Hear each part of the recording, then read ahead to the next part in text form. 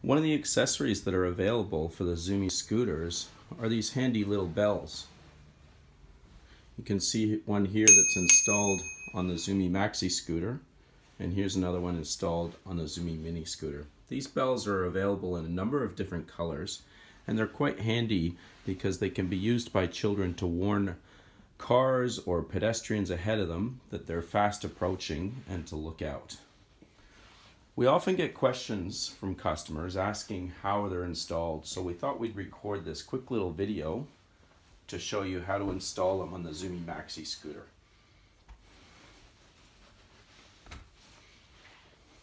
So there's two places that we can put this bell.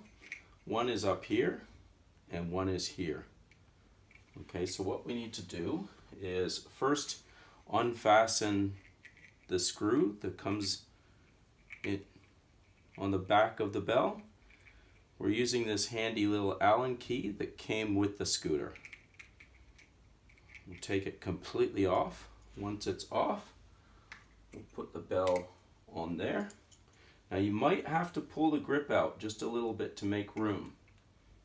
Okay, and once it's in, we'll put the bolt back in and then we'll tighten it up.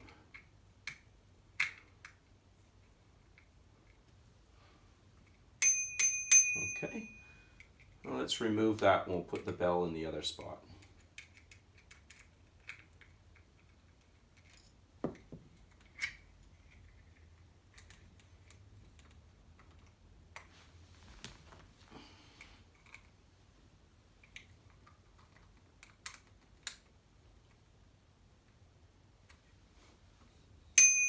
And there we go. Thank you very much. If you have any further questions, you can always contact us at info at zoomy.com.au.